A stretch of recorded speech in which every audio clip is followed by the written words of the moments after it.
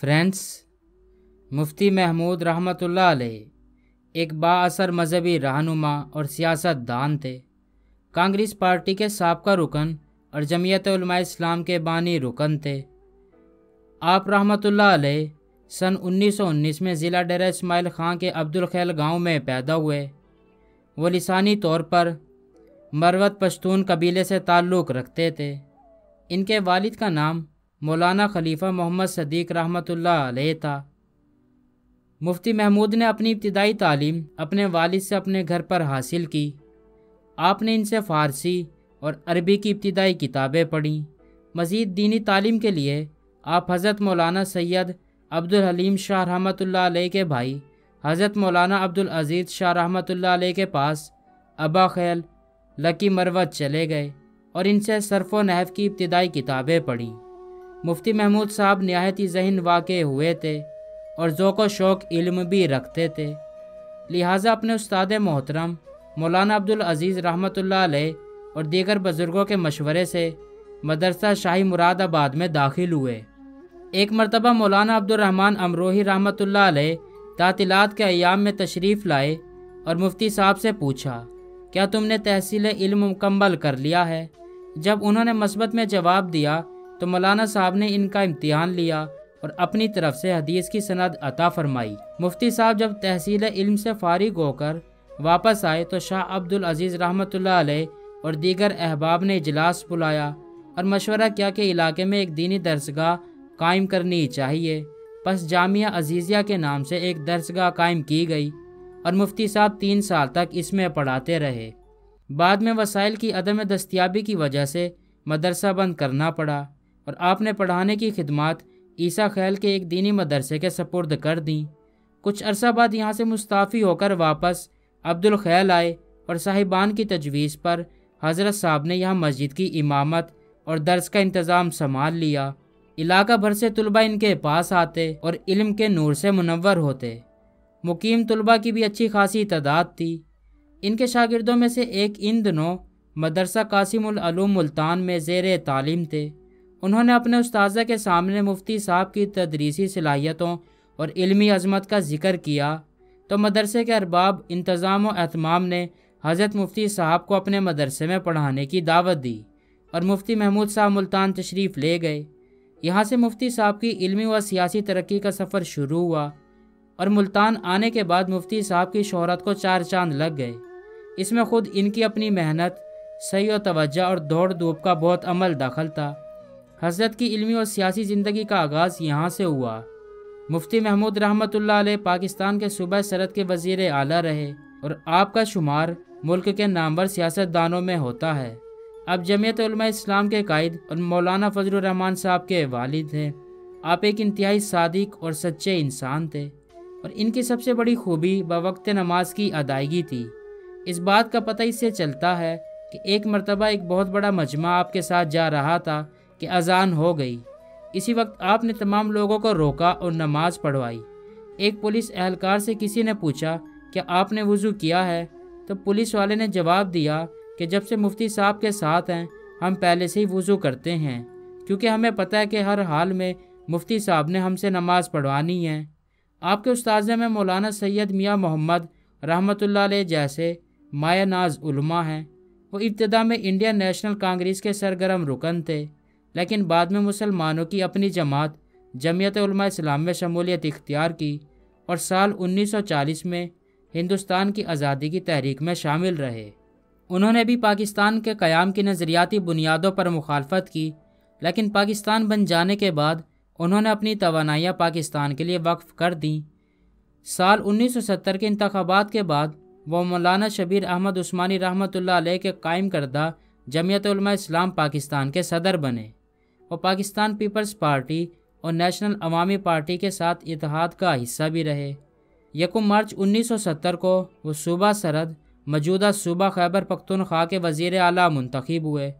उन्होंने अपनी काबीना के साथ बलूचिस्तान में नेशनल अवामी पार्टी और जमीयत इस्लाम की मुश्तर हुकूमत के जबरन अख्ताम के ख़िलाफ़ 14 फरवरी उन्नीस सौ तिहत्तर को एहतजाजन इस्तीफ़ा दिया। मुफ्ती साहब ने पाकिस्तान में ख़त्म नबूत के मौजू पर बहस में एक अहम किरदार अदा किया। उन्होंने एक टीम की क़्यादत की जो कादियानियों, अहमदियों और लोहरी ग्रुप को गैर मुस्लिम साबित करने पर काम कर रहे थे। इन्हें इस मौजू के बाद बहुत शहरत और पजीराई मिली। उन्होंने रूस के ख़िलाफ़ अफगान जिहाद की हिमायत की। दोस्तों मुफ़क्र इस्लाम। हज़रत मौलाना मुफ्ती महमूद, जहाँ की प्यास बुझाने वालों को कुरान हदीस और फ़िक्र के इसबाक पढ़ाते, वहाँ बहुत सादा, लेकिन दलाइल से मुजयन खिताब से आवाम को अल्लाह के दीन की तरह बुलाते। आपके सुनने वाले और पढ़ने वाले इससे बहुत मुतासर होते थे। आप बात कहने से पहले इस पर अमल करके बात कहते थे, और जब बात दिल से कही जाए तो असर रखती है। मौलाना मुफ्ती महमूद ने इल्मी मैदान में मदरसे की चटाई पर बैठकर पढ़ाया, उल्मा और तलबा को खूब इल्म पढ़ाया, सिखाया और सात दलाइल के अनबार दिए। जो इस वक्त की ज़रूरत ही नहीं थी, बल्कि आज भी इन दलाइल की बुनियाद पर गुफ्तु की जाती है। इसी तरह पार्लिमानी महाजों पर मौलाना मुफ्ती महमूद के कारनामे, पार्लिमानी तारीख के माथे के झूमर हैं। उन्नीस सौ तिहत्तर का आइन पाकिस्तान के अहम दस्तावेजात में से है। इसे बनवाने में मौलाना मुफ्ती महमूद रहमत का कारनामा जिससे इनकार मुमकिन नहीं है। आप रहमत की शख्सियत, हसीन, जाजिब और पुरकशिश थी। आप अहद हाजिर के इन उलमा और महक्कीन के सरखेल थे, जिनके इल्मी और सियासी वजूद पर ना सिर्फ़ बर सग़ीर बल्कि तमाम आलम इस्लाम फ़ख्र कर सकता है। वह एक हमा सिफात इंसान और अजीब गरीब खूबियों के मालिक थे। कुदरत ने इन्हें इतनी आला और मुनफरद खसूसियात से नवाजा था कि इल्म दानिश की इस बहरे बैकरां का इल्मी इस्तेसार बड़े बड़े उल्मा के लिए काबिल रश्क था। इनकी फाजलाना बसीरत मुस्लिम थी। वो बैक वक्त मुफसर कुरान, मुहदस जमा फ़किया दौरान और अरबी के कादिर कलाम मुकर्र थे। अरबी ज़बान इस फसाहत से बोलते थे कि इन पर अहल ज़बान को भी अहल ज़बान होने का गुमान होता था। उन्होंने मदरसा कासिमूम मुल्तान में मनसब इफ्ता पर फाइज होकर तकरीबन बाईस हज़ार फतवे सादिर किए और एक ऐसे शख्स की खूबियों को शुमार नहीं किया जा सकता, जो अपनी ज़ात में अंजुमन, एक तहरीक, एक दावत, एक दौर और एक इदारा हो। मुफ्ती साहब आलम इस्लाम के चंद बड़े जोमा में से एक थे। हज़रत मुफ्ती साहब की इल्मी काबिलियत का ये आलम था। उन्नीस सौ बहत्तर में जब मुफ्ती साहब को सुबह खैबर पख्तूनख्वा का वज़ीर अला बनने का मौका मिला और इकतदार की कुत इनके हाथ आई तो उन्होंने अंग्रेज़ के दो सद साल इस गुमराह कन प्रोपेगेंडे को सिर्फ़ नौ माह के कलील अरसे में न सिर्फ़ ज़ायल करके रख दिया, बल्कि साबित कर दिया कि उल्मा बेहतर निज़ाम हुकूमत चलाने की अहलियत और काबिलियत रखते हैं। इनका दौर हुकूमत एक बोरिया नशीन और साम्राज्य दुश्मन इंसान का मिसाली दौर हुकूमत था। इस पूरे दौर में सूबे भर के अंदर अमन अमान कायम रहा। शराब व कबाब की महफिलें बंद हो गई, ऐशो इशरत के दरवाजे बंद हो गए। सूबे के वज़ीर अला की सरकारी रिहाइश गाह मस्जिद का दर्जा इख्तियार कर गई और इस मर्द हक के दफ्तर के मुलाजिम इसके साथ खाते पीते, उड़ते, बैठते, नमाज़ें पढ़ते और बेतकल्लुफ़ाना बातें करते देखे गए। सियासी तौर पर इनके दौरे हुकूमत को ये बरतरी हासिल रही कि सूबे भर में दफ़ा 144 का नफाज ना हुआ। उन्होंने सूबे को पुलिस स्टेट ना बनने दिया।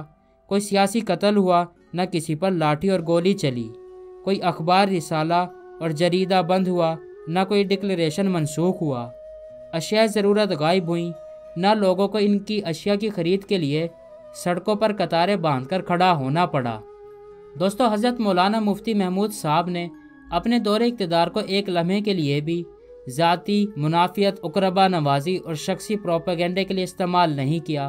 उन्होंने वज़ीर अला के मनसब पर फायज होते हुए न कभी तनख्वाह ली, बल्कि चार हज़ार रुपये माहवार किराए की कोठी पर रिहाइश पजीर होने से इनकार फरमाया। इनकी बोदोबाश लिबास वज़ाकता में सरम फ़र्क न आया। गोया इनकी तर्ज ज़िंदगी ऐसी ही सादा थी, जैसे इकतदार से पहले। मुफ्ती साहब अजीम इंसान थे, वो न सिर्फ़ जैद आलिम दीन, कारी, बहुत बड़े फ़किया और मुफ्ती बुलंद पाए के मुहदस और मुफसर चारों सिलसिलों में मजाज, हाफिज़ कुरान बल्कि एक अजीम सियासी रहनुमा और कायद भी थे। वो चौदहवीं सदी में काफिल हुरियत के आखिरी जर्नेल थे, जिसे हज़रत शाह वली रहमत और सैयद अहमद शहीद रहमत ने तरतीब दिया, जिसको हाफिज़ जामिन शहीद मौलाना रशीद अहमद गंगोई रहमत और मौलाना कासिम नान नौतवी रहमत ने मज़बूत और मुस्तहकम किया, जिस सलारों में शेखुल हिंद, मौलाना महमूद हसन रहमत सैयद अनवर काश्मीरी रहमत मुफ्ती किफ़ायतुल्ला दहलवी रहमत मौलाना अहमद सईद, मौलाना हिजुररहमान, मौलाना उबैदुल्ला सिंधी रहमत मौलाना अशरफ अली थानवी रहमत सैयद हुसैन मदनी रहमत अल्लामा शबीर अहमद उस्मानी रहमत सैयद अताउल्ला शाह बुखारी रहमत और मौलाना अहमद अली लाहौरी रहमत शामिल थे। इस जमात हका के तैयार करदा, काफिल तस्लीम और रज़ा के इल्म अमल, इसार इस्तकामत अखलास कुर्बानी और जिहाद अजीमत की अमानतें इनके आखिरी जर्नेल मौलाना मुफ्ती महमूद रहमत ने चौदहवीं सदी के अख्ताम पर पंद्रहवीं सदी की दहलीज तक पहुँचा दी, ताकि नई सदी में अपने काबिल फ़ख्र इसलाफ के मिशन पर चलने वालों के लिए चीज़ें मताए अमल और सर माए निजात बनी रहें। दोस्तों, मुफ्ती महमूद को अल्लाह ने बेपना खूबियों से नवाजा और आप नामवर आलिम दिन होने के साथ साथ काबिल एहतराम नामवर सियासी शख्सियत थे। कुदरत ने आपको बड़ी बसीरत से नवाजा था। सियासी मैदान में आपके फैसले इस पर शाहिद हैं, जिनकी अपनों ने तारीफ़ तो की है, लेकिन दीगर भी मुफ्ती साहब को खराज तहसीन पेश के बगैर न रह सके। हज़रत मुफ्ती साहब ने अपनी सियासी ज़िंदगी का आगाज़ 1942 में जमीयत हिंद के प्लेटफार्म से किया और अपने अकाबिर के हुक्म पर मशहूर तहरीक हिंदुस्तान छोड़ दो में बढ़ चढ़कर हिस्सा लिया। फिर आप थोड़े ही अरसे में जमीयत हिंद की मजलिस आमला के रुकन बने। इस दौर में किसी शख्सियत के लिए बड़े एजाज़ की बात थी। इसके बाद उन्नीस सौ सैंतालीस में जब अल्लाह ताला के फजल और मदद से पाकिस्तान बना तो हज़रत मुफ्ती ने पाकिस्तान की सियासत में जमीयत इस्लाम के प्लेटफार्म से हिस्सा लिया और मुख्तलिफ़ अदवार में जमीयत इस्लाम के मुख्तलिफ़ मनासिब पर फाइज रहे। ये बात भी एक हकीकत है कि जमीयत इस्लाम की बुनियादों, तामीर और तरक्की में हज़रत मुफ्ती साहब की खिदमत किसी से मख्फी नहीं। शेखुल तफसीर हज़रत मौलाना अहमद अली लाहौरी रहमत ने जब जमीयत इस्लाम के अहाया की ज़रूरत महसूस की जिसकी बुनियाद पाकिस्तान के बनने के बाद शेखुल इस्लाम, अलामा शबीर अहमद उस्मानी ने रखी तो हज़रत लाहौरी के साथ जिन शख्सियात ने जमीयत इस्लाम को मुल्क गिर जमात बनाने के लिए बुनियादी किरदार अदा किया, इनमें हज़रत मौलाना मुफ्ती महमूद, हज़रत मौलाना मोहम्मद अब्दुल्ला दरख्वास्ती रहमत हज़रत मौलाना ग़ुलाम गोस हज़ारवी रहमत हज़रत मौलाना मुफ्ती अब्दुल वाहिद रहमत हज़रत मौलाना मोहम्मद अजमल ख़ान रहमत का नाम हमेशा सुनहरी हरूफ से दर्ज किया जाएगा। उन्नीस सौ छप्पन का आइन पाकिस्तान का पहला आइन था। चाहिए तो यह था कि इस आइन के अंदर इस्लामी कवानीन का मुकम्मल नफाज होता, लेकिन इसके बिल्कुल बरक्स इस आइन में इस्लाम को सिर्फ़ दिबाचा तक महदूद रखा गया और गैर इस्लामी कवानीन के नफाज की कोशिश की गई। जमीयत इस्लाम की क़्यादत इस खतरे को भाप गई और आइन से गैर इस्लामी दफात के ख़ात्मे के लिए हकूमत पर ज़ोर दिया। चुनाचे हज़रत मुफ्ती साहब की क़्यादत में इस फरीज़े के लिए एक कमेटी तश्कील दी गई, जिसने न सिर्फ़ गैर इस्लामी शिकों को बेनकाब किया और आवाम को आगाह किया, बल्कि इस पर तनकीद व तमीरत की एक जाम रिपोर्ट भी तहरीर की। और मज़ीद ये कि इस पर एक मुख्तर मगर जाम तबसरा करते हुए सारी कली खोल दी। हज़रत मुफ्ती साहब ने लिखा कि मुसलमानों को उन्नीस सौ छप्पन के इस आयन के बारे में किसी खुश फहमी में मुबतला नहीं रहना चाहिए। क्योंकि इस आयन में इस्लाम को बतौर तमहीद ज़िक्र किया गया है, जो कानूनन दस्तूर का हिस्सा नहीं बनता। उन्नीस सौ छप्पन में हुकूमत ने तहफ़ हकूक़ नस्वा के नाम से एक मसवदा तैयार किया, जो बाज़ वजूहत की बिना पर अल्तवा का शिकार रहा। उन्नीस सौ अट्ठावन में अयूब खान की फौजी हुकूमत ने इस मसवदे के कुछ मंदरजात का आर्डीनेंस के ज़रिए नफाज कर दिया, जो सरासर इस्लामी तालीमत के लिए मुतजाद थे। मसलन अगर किसी लड़की या लड़के का अपने वालिद से पहले इंतकाल हो जाए तो उसको बाप की विरासत में इसी कदर हिस्सेदार तस्वुर करेंगे, जैसा कि वह अपनी ज़िंदगी में थे। ये बात न सिर्फ़ इस्लामी तालीमत के ख़िलाफ़ थी, बल्कि खिलाफ अकल भी थी। भला मर जाने के बाद जायदाद का क्या फ़ायदा? चुनाचे हज़रत मुफ्ती साहब ने इस गैर इस्लामी मसवदे के ख़िलाफ़ सदाए हक बुलंद किया और फरमाया कि असम्बली के अंदर मेरी मौजूदगी में अल्लाह ताला और इसके रसूल अलैहि वसल्लम के दीन के ख़िलाफ़ कोई कार्रवाई, कोई कानून साजी मुकम्मल नहीं हो सकेगी।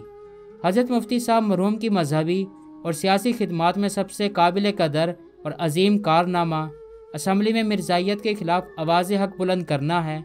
दीगर मजहबी और सियासी रहनुमाओं की मुआवनत से हज़रत मुफ्ती साहब ने असम्बली में मिर्जाइत के ख़िलाफ़ जंग लड़ी और मिर्ज़ा नासिर के साथ ग्यारह दिन और लाहौरी फ़िरके के ख़िलाफ़ सात घंटे असम्बली के फ्लोर पर मनाजरा किया और इन्हें शिकस्त फाश दी। हज़रत मुफ्ती साहब और दीगर जोम कौम की मेहनत रंग लाई और सात सितंबर उन्नीस सौ चौहत्तर को मिर्जाई और लाहौरी फिरका इतफाक़ राय से गैर मुस्लिम अकलीत करार पाए। दोस्तों 1977 में भुट्टू हकूमत ने जब कौम को सियासी तौर पर मुंतशिर देखा तो अचानक इंतबात का ऐलान कर दिया। हज़रत मुफ्ती साहब इस वक्त कौमी असम्बली में कायद हिजब इख्तलाफ थे। चुनाचे आपने तमाम कौमी सियासी जमातों को इतिहाद की दावत दी और नौ जमाती इतिहाद वजूद में आया, जिसका नाम पाकिस्तान कौमी इतिहाद था। आप इसी इतिहाद के सदर थे। इंतबात में खूब धांधली हुई तो पूरी कौम शोले जवाला बन गई और देखते ही देखते इस तहरीक ने तहरीक निज़ाम मुस्तफ़ा सल्लल्लाहु अलैहि वसल्लम का रुख इख्तियार कर लिया और पूरे मुल्क को अपनी लपेट में ले लिया। बिल आखिर भुट्टू हुकूमत को घुटने टेकने पड़े और मजाकरात की मेज़ पर आना पड़ा। हज़रत मुफ्ती साहब अपने बत्तीस नुकात में से इकतीस नुकात मिस्टर भुट्टू से मनवाने में कामयाब हो गए। जनरल जावला के दौरे हुकूमत में हज़रत मौलाना मुफ्ती महमूद ने इस्लामी निज़ाम के नफाज के लिए हर मुमकिन रास्ता इख्तियार किया, जो कुछ इस्लामी निज़ाम के लिए हो सका। एक मदरसे के पढ़े हुए और मदरसे में पढ़ाने वाले, एक आलिम और शहरी मसाइल पर फतवे देने वाले एक मुफ्ती ने सियासत में इस तरह हिस्सा लिया कि जदीद तालीम याफ्ता हजरात के हजूम में न सिर्फ़ नुमाया हुआ, बल्कि बहुत सौ को सियासत का सबक पढ़ाया और इस्लामी सियासत से रोशनास कर दिया। आपकी सियासी मसाइल पर राय फतवे की तरह मोहतरम समझी जाती थी। गोया मुल्क तारीख को पहली बार दीनों सियासत का हसीन इम्तजाज देखने को मिला था। मौजी सामीन कराम, मौत पर इंसान को कोई इख्तियार व इकतदार नहीं। मौत इंसानी ज़िंदगी का एक ऐसा अलमिया है जिसके मुकाबले में इंसान बिल्कुल बेबस और आजीज़ है। मौत बिल्कुल अचानक आती है। बाज़ हादसे अपनी नोयत के लिहाज से, जो कभी ना भूलने वाले होते हैं। बक़ैतसलफ़ जैमुल मिलत मुफ़क्र इस्लाम, हज़रत मौलाना मुफ्ती महमूद रहमत की वफ़ात, हसरत आयात, इन्हीं अहम हवादिस में से रू फरसा हादसा और होशरुबा सानिया हैं।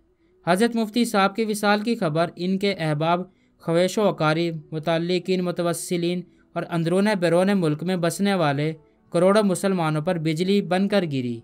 आप अलैह ने 14 अक्टूबर सन 1980 को वफ़ात पाई और अपने आबाई गाँव अब्दुल खैल पनियाला में मदफून हैं। दुआ है, अल्लाह ताला आपकी कब्र पर करोड़ों रहमतें नाजिल फरमाए, आपको जन्नत फिरदौस में आला मकाम अता फरमाए। आमीन।